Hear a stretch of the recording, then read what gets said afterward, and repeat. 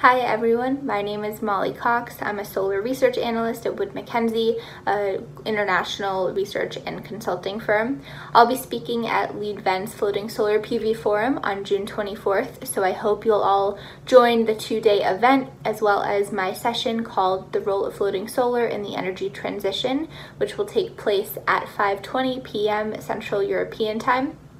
I'll be diving into the global floating solar market landscape and expected growth over the next five years, as well as market drivers and barriers to growth for some of the major floating solar countries.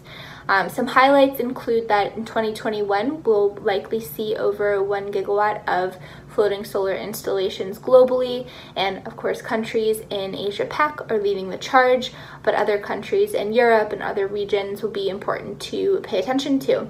So I look forward to diving into some of these details with you again on June 24th at 5:20 p.m. Central European Time. Look forward to it and see you there.